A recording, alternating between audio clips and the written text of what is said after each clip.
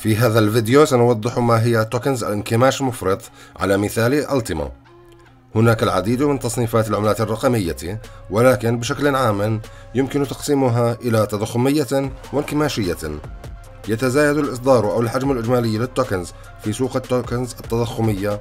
أما التوكنز الانكماشية فهي محدودة للغاية ومتناقصة. أما الانكماش المفرط يحدث عندما ينخفض العرض في السوق بشكل كبير ويبدأ الطلب المتزايد والعجز في تحفيز نمو الأسعار بقوة. إذا لماذا من الضروري الحد وتقليل حجم العملات في السوق؟ بمرور الوقت يحدث عجز في السوق وهذا الأمر يؤدي وفقا للقوانين الاقتصادية إلى زيادة سعر الأصول. يقتصر عرض ألتيما على 100 ألف توكن فقط وهو أحد أدنى مؤشرات الإصدار في السوق العالمية. الحد من الإصدارات ليست الآلية الانكماشية الوحيدة لألتيما. أداة الانكماشية الرئيسية في ألتيما هي ال halving.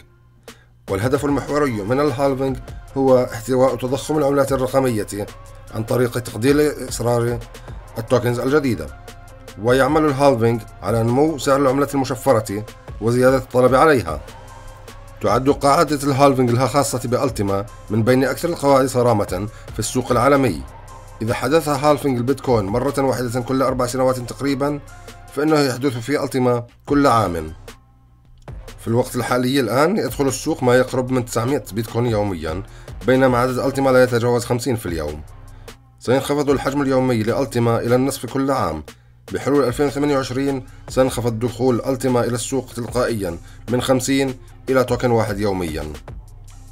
هناك منتج آخر يساهم في تقليل المعروض من ألتيما ونمو الطلب على التوكن وهو محفظة سمارت وولت. تفرض رسوم على كل معاملة في المحفظة بنسبة 3% والتي تعتمد تلقائيا في البلوك تشين لمدة 50 عاما. مما يقلل من حجم تداول الألتيما وزيادة أسعارها. في عالمنا الآن هناك العديد من العملات المشفرة الكريبتو الانكماشية في السوق العالمي ولكن أصبح ألتيما فقط توكن شديد الانكماش فعلا. هذا يجعل التما حلا آمنا ومربحا لأولئك الذين يرغبون في كسب المال من التقنيات الجديدة.